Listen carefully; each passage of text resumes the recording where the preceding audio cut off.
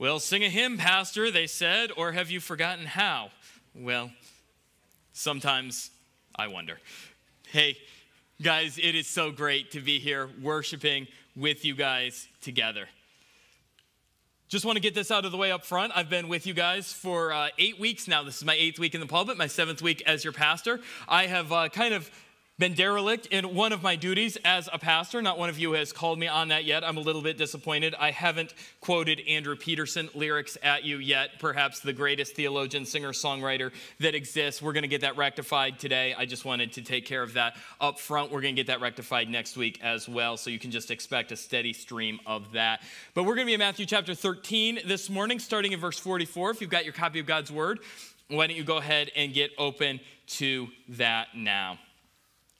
Well, Sadhu Sundar Singh was born around the turn of the last century, around the year 1900, in India, and he grew up a very angry teenager. His mother sent him to a Christian school in India, but when he was just 14 years old, his mother died. So angry and distraught was he that he took his copy of the Bible and began ripping it apart page by page, burning each page as he went. It didn't make him feel any better, and so one day he planned to kill himself. And he shook a fist at heaven and he said, Unless there is a God who will reveal himself to me, I'm killing myself tonight. That very evening, he had a vision of Jesus. He committed his life to Jesus there in India, but his father and his other family, his brothers who remained alive, they weren't too thrilled with what had happened. And they began trying to kill him. They tried to poison him several times. They even took venomous snakes and threw them into the house where he was living. Nevertheless, Mr. Singh stuck with his new faith. So overcome was he with the message of Jesus that he began traveling through the Himalayan mountains to share the gospel. He traveled into Afghanistan, he traveled into Tibet various random remote regions. So successful was he in sharing the gospel that it became known all over the world that this young man was preaching about Jesus. And so an agnostic religion professor from Europe tracked him down and came to visit him. And this agnostic professor was doing some research in the idea of comparative religions. And so he said, when he found Sadhu Singh, he said, Tell me, young man, what have you found in your new Christian faith that you didn't discover in the traditional religions of India? And he looked at him and he said, I found Jesus. And not to be deterred, the agnostic professor said, No, no, no, but, but what principle or what doctrine or what teaching did you discover? And again, he looked him in the eye and he said, What I have found is Jesus. So we're in the middle of a four week series answering the question, What does it mean to be gospel centered? And we've talked about how the gospel grabs hold of our hearts and radically reorganizes our lives by changing our thinking and our desires and our priorities. But today I want us to zoom in not on the effects of the gospel, but on the person who makes the gospel possible in the first place, and that is Jesus. So to be gospel centered, you have to see Jesus for who he really is. Our main point this morning is very simple Jesus is the treasure. Years ago, I was in the Moody Men's Collegiate Choir. I'll, pause there because my wife and my daughters are in the front row and they're giving me a look like, how? the choir was very gracious to allow me to have a slot. But as we traveled around, we used to sing an old hymn called Fight the Good Fight and it had a really compelling line that this old hymn would build towards. Listen to these lyrics Fight the good fight with all your might. Christ is your strength, and Christ your right. Run the straight race through God's good grace. Lift up your eyes and seek his face. Life with its way before us lies.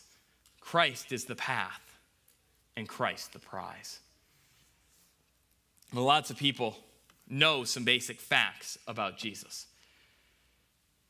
If you've seen those late night talk show hosts that take microphones and they interview random people on the street, I think if you did that, you would find lots of people could give you lots of answers about Jesus. Hey, have you heard of that Jesus guy? What do you think of him? Well, yeah, I, have heard of him. He was a good teacher. Yeah, I've heard of him. He was a, he was a good prophet.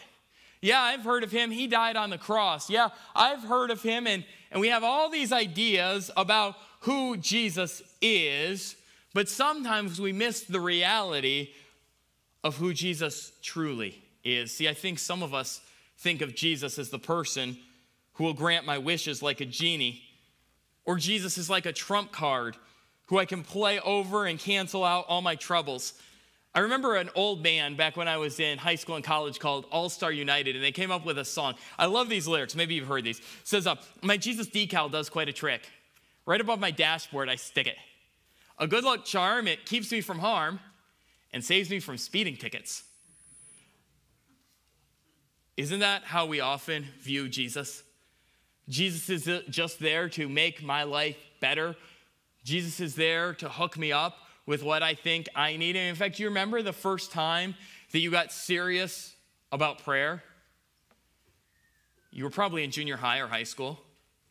And your prayer probably went something a little bit like this Lord, I know I didn't study, but I pray that your spirit would reveal to me the answers to this test. Use my neighbor's paper if necessary. Isn't that how we view Jesus? He's the one who gets me what I need when I need it. And we have this idea that we have a Jesus on demand who's there to hook us up. But here's what I want you to hear this morning what we're driving at this morning, what we're going to let Jesus say in his own words in Matthew 13 is that Jesus is not the tool we use to find a great life. Jesus himself is the treasure that we find. Whatever it was that we thought would provide a great life, whatever we used Jesus to acquire, we find that that treasure is not actually treasure. So instead of just trying to use Jesus to get to life's treasures, we need to see anew and afresh that Jesus himself is the treasure. And with that background and that main point already in our minds, we're ready to look into Matthew chapter 13. Starting in verse 44, we just have three verses that we're going to be looking at this morning. These three verses form two short parables that are tied together to make one main overarching point. Now, studying a parable is a little bit different than studying, say, one of Paul's letters or one of the big treatises in the New Testament because we're not tracing an argument. What we have here in Matthew chapter 13 is a story. And so you don't develop a flow of thought through a story so much as you make observations about the story. So, this morning, from these three verses, we're going to have three observations about Jesus being our treasure. And our outline points are going to each complete that main phrase Jesus is the treasure, dot, dot, dot. We're going to fill that in with three things. So, let's dive in by reading the passage. And here's what these three verses say The kingdom of heaven is like treasure hidden in a field, which a man found and covered up. Then in his joy, he goes and sells all that he has and buys that field. Again, the kingdom of heaven is like a merchant in search of fine pearls, who, on finding one pearl of great value, went and sold all that he had and bought that pearl. Jesus is the treasure. Let's start with this thought Jesus is the treasure no matter how you find him. So, did you notice the two different ways that the two different guys in this parable found the treasure? So, we have the pearl guy, and we have the field guy. And the pearl guy is a fine pearl merchant. He spent his whole life looking for a great pearl. And so the search is on, and he was looking here, and he was looking there, and traveling here, and traveling there. And finally, after years of searching, he found the pearl. The other dude tripped over something in a field. It doesn't matter how you found Jesus.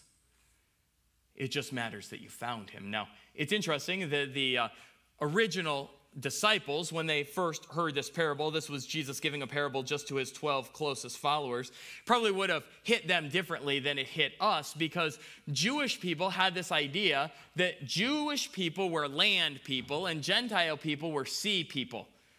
And so, if you kind of look at these parables, you see that the first guy was traveling around on the land, and the second guy was traveling around all over. Likely because he was an international traveler, you could picture him traveling in boats across the sea. And the idea is this the Jewish people thought of themselves as land people because they lived in God's promised land, and the land gave them identity. The land gave them foundation. The land gave them something on which they could build their lives. And yet, even though they had all that identity and that foundation, they didn't have what they really needed. And they still stumbled across the treasure. And the other man, searching all over, eventually discovered the treasure. I think it's likely that you can relate more to the land guy or to the journeying sea guy this morning. Maybe you grew up in a religious family and attended church on the regular. You sang all the songs at vacation Bible school. You went to church camp. You read the Bible stories. But hear this you can do church stuff and miss the main point. You can be in the church building and not understand why the building was built. At some point, you have to stumble over Jesus and discover that he's not just a name that we sing in church songs, but he's the point of everything that we do. Have you discovered that Jesus is the greatest treasure in life? See, there's so many people I think that have grown up hearing about Jesus and they think they have this foundation about Jesus because they know that going to church makes me a nice person, going to church makes me a moral person, going to church is a good thing to do for my kids. But Jesus didn't come so that we would make nice little kids who ran around in church. Jesus came to radically reorganize our hearts. And have you found Jesus to be that treasure? But maybe for some of you, your experience with the Lord has been totally different. Maybe you've been searching and searching and searching for meaning and answers your whole life. Maybe you've read deeply in philosophy and religion. Maybe you've chased experiences so that you can feel alive. And the more you look, and the more you look, you feel like you haven't found anything. And then one day you find Jesus. And a few years later, you realize I didn't actually find Jesus, it was Jesus who found me. But your whole life gets radically turned upside down. And hear this some people grow up near people who love Jesus with friends and family who point them to Jesus, and over time, they come to realize that Jesus is life's greatest treasure. Some people grow up around people who know and love Jesus and they rebel against it and they walk away. And over time, the Lord draws them back and they see that Jesus is the treasure that they didn't see when they were young. Other people spend their whole lives having no idea who Jesus was and they seemingly discover him out of nowhere. The question is not, how did you find the treasure? The question is this do you recognize the treasure when it appears before you? Which leads us to our second point Jesus is the treasure that can be overlooked. And don't miss this detail in these stories. So we have a guy who stumbles across a treasure in a field, we have a guy who finds a pearl. But what's interesting is that at the beginning of the story, somebody else owns the field and somebody else owns the pearl. And the field owner and the pearl owner were willing to part with the field and the pearl when they were offered enough money. And even though this pearl was of incalculable value, even though this field had treasure that could make you rich beyond understanding, someone was willing to pass it by. Why? Because they didn't see the treasure that was right there in front of their face. There was a news story that came out a few years ago about a man named Michael Rohr. Michael Rohr inherited a little box from his great uncle when his great uncle passed away. Have you ever had a relative pass away and you get this inheritance? You're like, really? That's what I inherited. And so Michael Rohr gets this box and it was filled with old, dusty, dirty comic books. So he tossed it in a corner in his attic for years. And one day he was having a casual conversation with one of his friends and he happened to mention, hey, you know, all I ever inherited from my great uncle was a box of comic books. And his friend's like, you know, why don't you look into that box? He's like, your uncle lived around the 30s and 40s, right? He said, uh, Do you think there might be in that box action comic number one? And some of you are like, What's that? Well, action comic number one is the first appearance in comic books of Superman. And so he opened the box, and sure enough, there was Action Comic number one. And not only did he have the first appearance of Superman, he had the issue that had the first appearance of Batman. And so he suddenly started to clean those comic books up and knock the dust off of them, and he took them to auction. And that dirty, dusty box of comic books sold at that auction for three and a half million dollars. You can have treasure and miss the treasure. Now, you might be asking, why would there be treasure buried in a field? You know what they didn't have in that era when Jesus was telling this story? They didn't have banks or safety deposit boxes. So if you had some valuable coins and you didn't want someone to steal them from under your mattress, your option was to go find a corner of your property that you didn't think people would pass through very often, take a shovel and dig a hole, and dump everything in that corner. Now, you can imagine, can't you, that you would have this treasure and you'd bury it in a corner of your field, and years would go by and more years would go by. And how many of us, we have all this money in our account, and you're like, you know what, I'm going to save that up for a rainy day, and I'm going to keep saving it, I'm going to keep saving it. And Then you die, and you've never used it. And this happened, it wasn't regular in that culture, but there would be people who would die and leave their treasure buried, and they'd forget to mention to their relatives, oh, yeah, by the way, I buried $350,000 in my field last week. And so eventually, over time, someone might stumble across that treasure. And so finding hidden treasure in that culture was kind of like our equivalent of winning the lottery. You knew it occasionally happened. It wasn't likely to happen to you, but it could.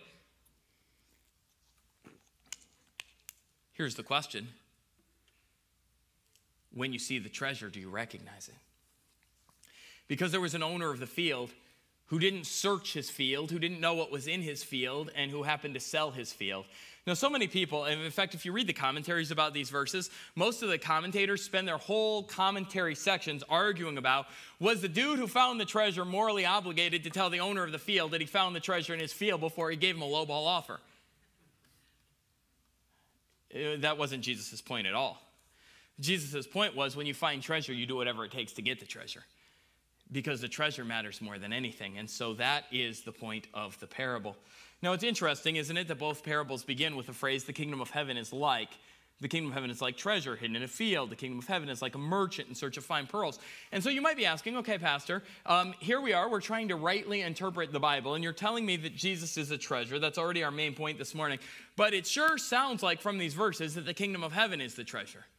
So, how can Jesus be the treasure if the kingdom of heaven is the treasure? What exactly is the treasure? How do you answer that, Pastor? Well, here's how I answer that. What makes the kingdom of heaven something to be treasured?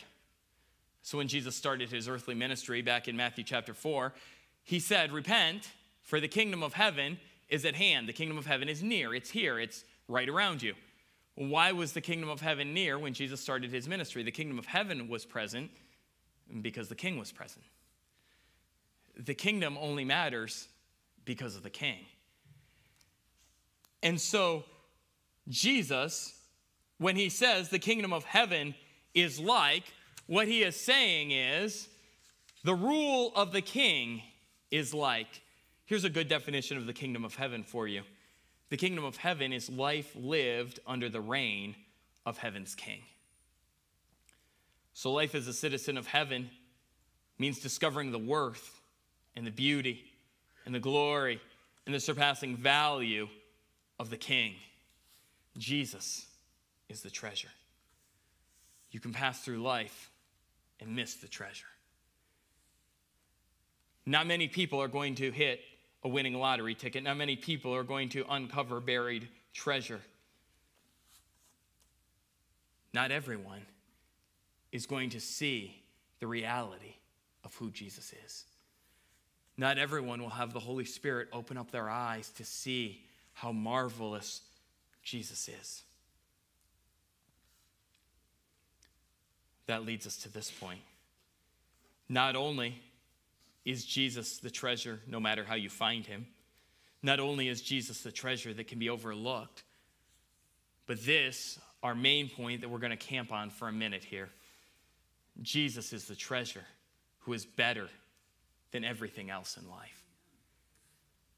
Here's, here's the question when you say Jesus is the treasure, what does that mean? See, when we think of treasure, we tend to think, isn't treasure treasure?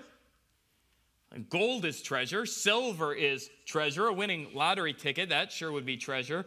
But how is Jesus treasure? How is a person treasure. I know some things that Jesus did on the cross. I know that Jesus is a savior, but how exactly is Jesus treasure? And so when I say that you can miss treasure, what I mean is you can know that Jesus is the things that the Bible says that he is, but your heart might not understand the reality of what that means. So when I say, Have you discovered Jesus for who he really is? What I mean is, has something inside of your heart come alive and realize that Jesus is more than anything else? Jesus is better than anything else. The world says, get more and you'll find what you're looking for. Jesus says, get me and you'll find what you're looking for. The world says what you need is money, popularity, fame, a great life. Jesus says what you need is me. How can I help you understand who Jesus is? How can I communicate to you this morning the reality of the surpassing greatness and glory and worth of Jesus? Because words don't do justice to the greatness of Jesus Christ.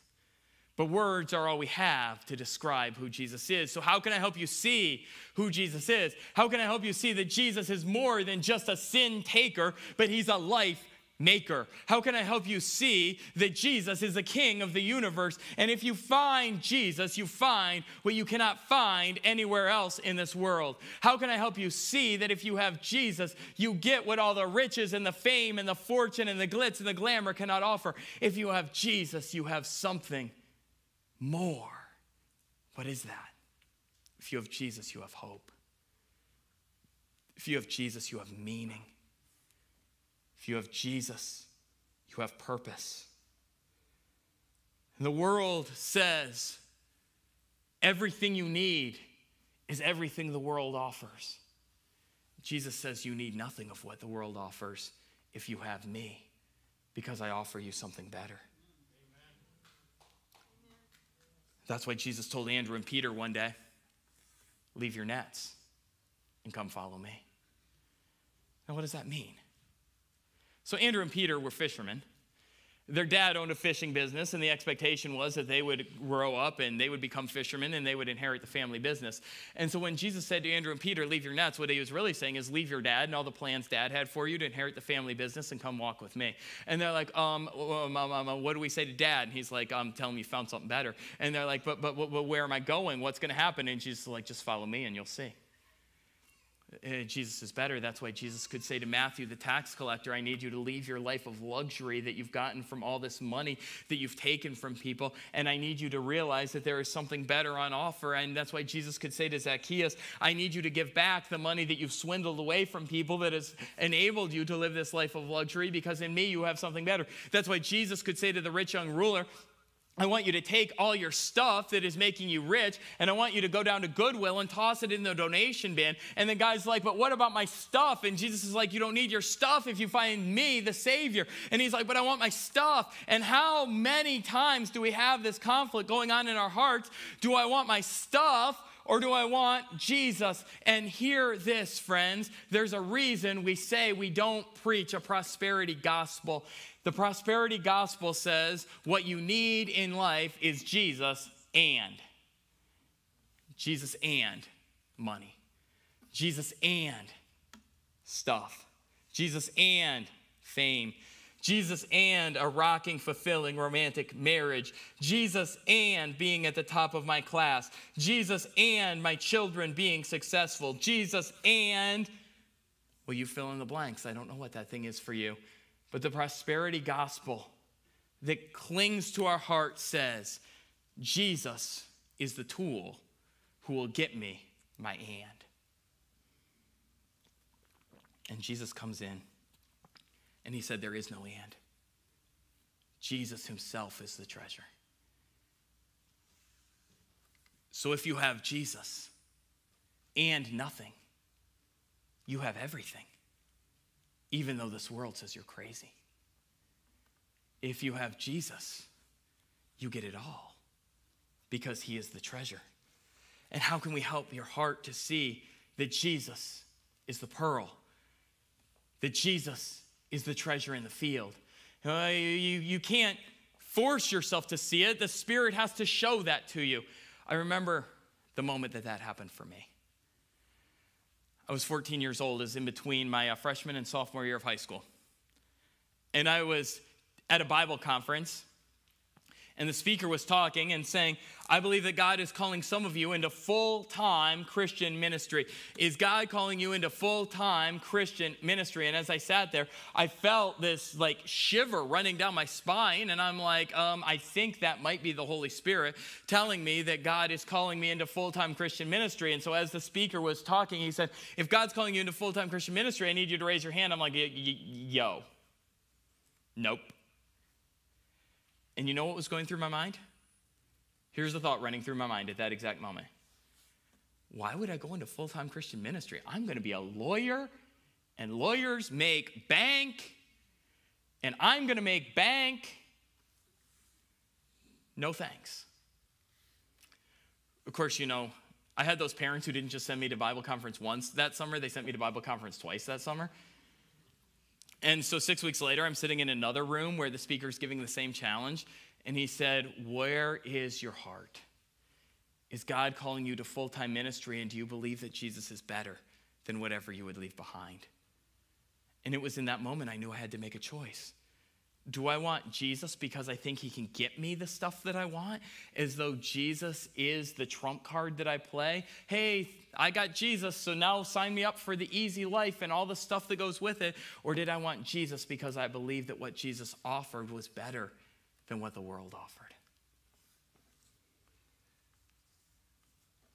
C.S. Lewis, famous Christian author, wrote a book that's a little more obscure I had to read it my freshman year of college.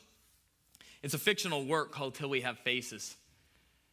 And this book, Till We Have Faces, is written in two parts. And the first part is written in an autobiographical style according to the words of the main character. And the main character is a woman who's queen over this land, but she has loved hard and lost much. And she's lived this tough life where even though she has the title, she didn't actually get what she wanted. And so at the end of the first section of the book, the last two words that close out that section are these words no answer. And the second half of the book chronicles her journey to discover how could there be an answer when there is no answer. And as the book draws to a close, again in her own words, C.S. Lewis writes this, and I think it's profound. I ended my first book with the words, No answer. I now know, Lord, why you utter no answer. You are yourself the answer. Before your face, questions die away. What other answer would suffice? If you have Jesus, you have everything. Even though the world says you need a different answer and a better answer. And so this morning, friends, I want to take a moment and talk to us as a church family. I want to give a word because I believe that there are some of you here who have gone through a tough year.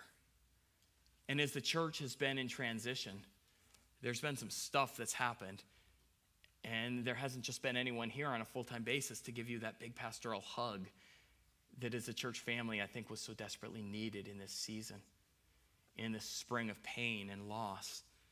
And there may be some others of you here who are, you're like, okay, but, but that didn't really touch me, yet there's some other thing in my life that I'm really hurting and grieving about. And will I just offer this to you? How can we be gospel centered, seeing Jesus as our treasure when life is hard, when things are lost? Friends, so often we buy into the subtle thinking of the prosperity gospel. I trusted Jesus, so I deserve all the good things in life.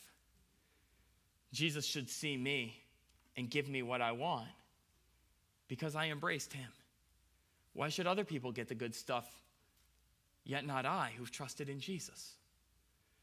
And so we begin to think that what I really need is Jesus and a long and happy life. What I need is Jesus and the painful situations to be resolved immediately and without repercussion.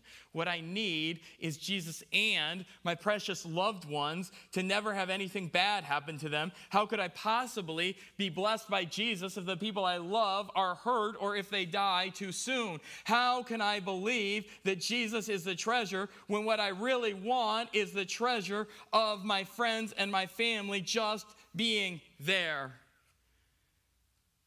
How do you answer that question? Here's how I begin to answer that question. Friends, I know my church history. And I know that Jesus had 12 disciples. And of those 12 disciples, 11 of them died young because they traveled across the world to India, to Africa, to Western Europe, spreading the name of Jesus. And in each and every instance, for 11 of them, they were forced to choose your life or the name of Jesus. The Apostle Peter, remember him, the guy who left the fishing nets? They said, Peter, it's Jesus or your life. And Jesus said, You know what? Take my life. But when you take my life and you crucify me to mock me as though you're killing me like Jesus, would you crucify me upside down because I'm not worthy to die in the same way Jesus did? You're like, okay, but that's only 11 of the 12. What about the 12th guy, the one that got blessed with long life? Did he really? I mean, that, that's the Apostle John, and he just happened to get burned alive in a vat of hot oil and survive. So, um, do you see the point? They were all willing to die for the name of Jesus. Why? Why? Because they saw in Jesus something that was better than life. They saw in Jesus something that was better than what the world said they needed. Jesus didn't come to offer us a charmed earthly existence. Jesus came to offer us himself, and Jesus is better. And so, in the midst of hurt and pain and loss, let me speak over you some words of the gospel. Jesus is better. That's why Paul said in Philippians chapter 1 I'd rather die and go be with Jesus. That's better by far. Let me say this the only thing we can do when our heart is hurting and when we're questioning if Jesus is better is to preach the gospel to ourselves over and over and over and over again. Day by day, remind myself Jesus is better. Jesus is better. Jesus is better. And here's a phrase that I've latched on into my mind, and I'd like to gift it to you this morning Heaven is not a consolation prize.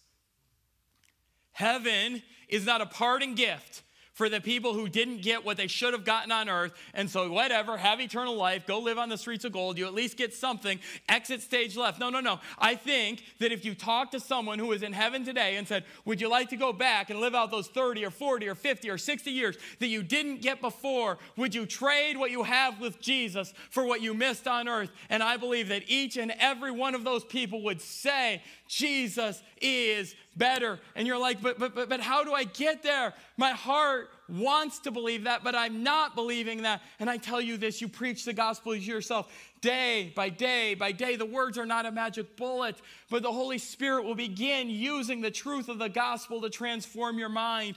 And so, as day by day you repeat the truth to yourself, slowly but surely you get to the place where, in the words of Andrew Peterson, the aching may remain but the breaking does not.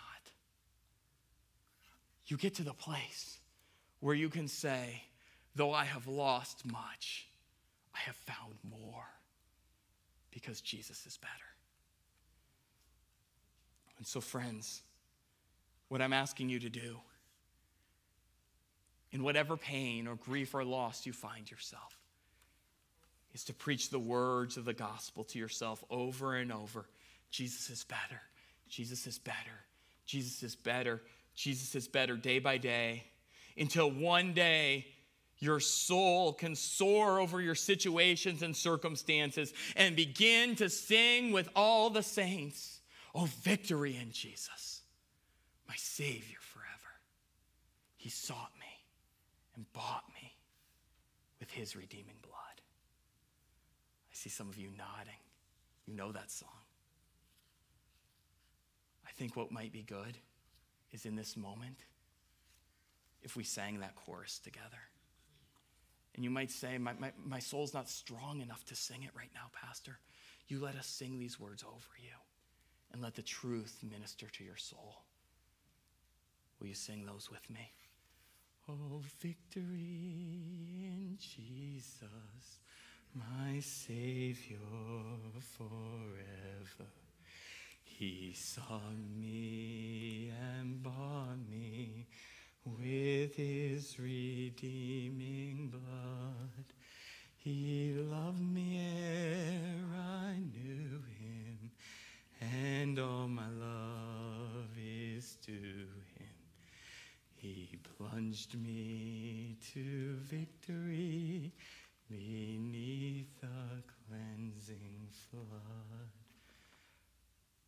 done singing yet.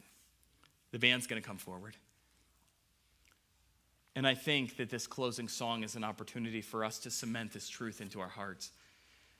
We're going to sing a song called Jesus is Better. And I love the line of this song Make my heart believe. Maybe you're in a place where that's all you can muster is, Lord, make my heart believe.